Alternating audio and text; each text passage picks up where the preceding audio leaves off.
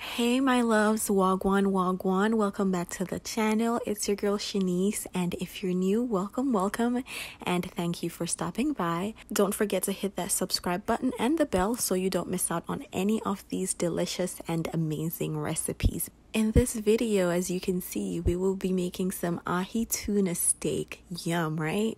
I know this is not a fish like salmon or um, tilapia, flounder that everyone eats, but if you're a fan of sushi, then you will definitely enjoy tuna steak. So I'm working with two steaks. First things first, you want to ensure that your fish is pat dry. I already dried these, but I'm just showing you that you can never pat dry enough. One tip on how to get very well cooked fish is to ensure that it is extremely dry before cooking. Now, I know you're used to the sesame crusted um, tuna steak, but I will not be doing that with this tuna steak, I'm just gonna season it, but first I'm just gonna go ahead and um, soak it in around a quarter cup of soy sauce.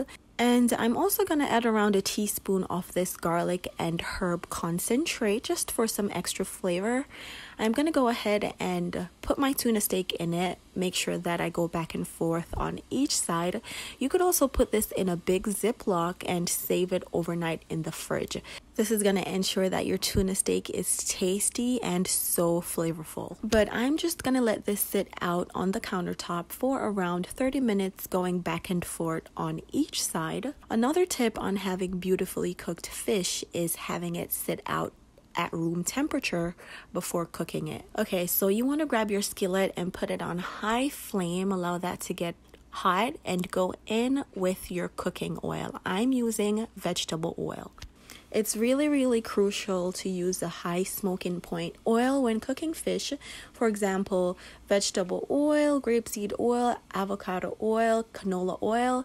This is going to ensure that your fish is cooked beautifully. So let's go ahead and season our tuna steak.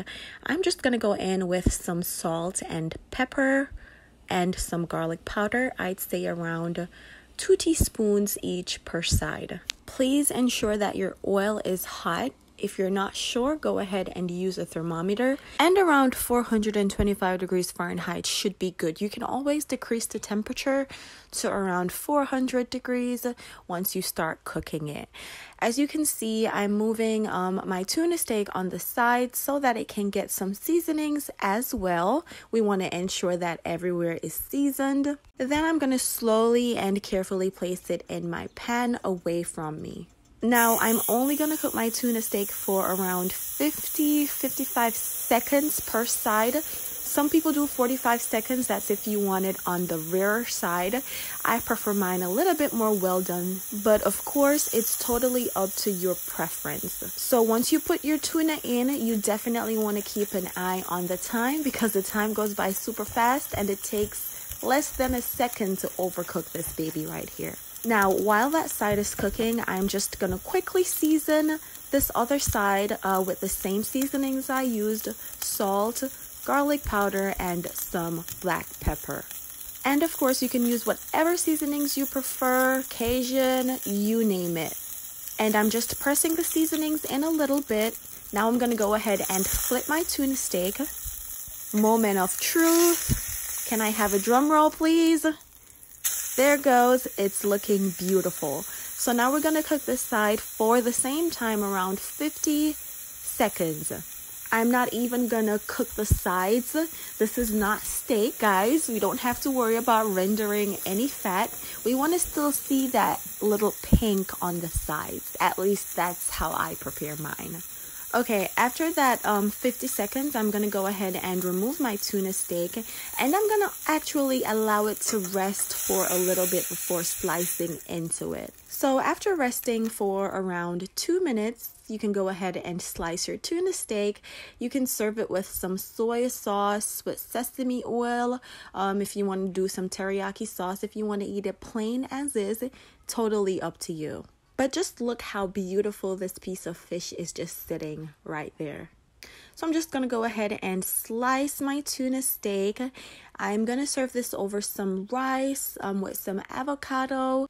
You definitely want to ensure that you're using a sharp knife when you're slicing your tuna steak just to get those beautiful slices.